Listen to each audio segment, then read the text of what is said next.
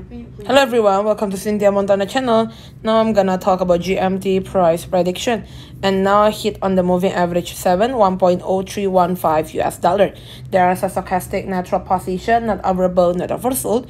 We're gonna go Bollinger Band here, try to push it to the pink one side middle band, 1.144 US dollar here right? But still having another opportunity correction first.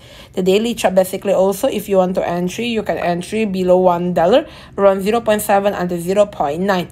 The one week chart like this still below all of the moving average and still bad because still having another correction slightly below $1.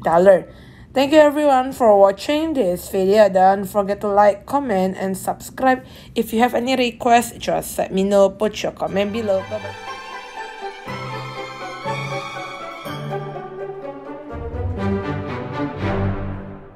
Hello everyone, welcome to Cynthia Montana channel.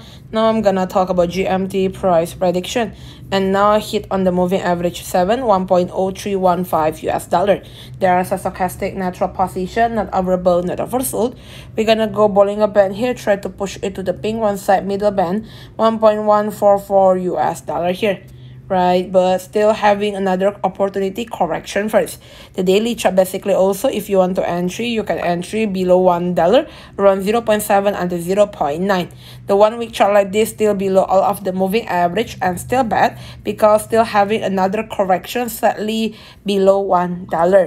Thank you everyone for watching this video. Don't forget to like, comment, and subscribe. If you have any requests, just let me know. Put your comment below.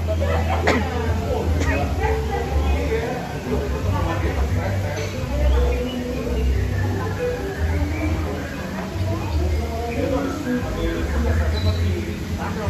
you.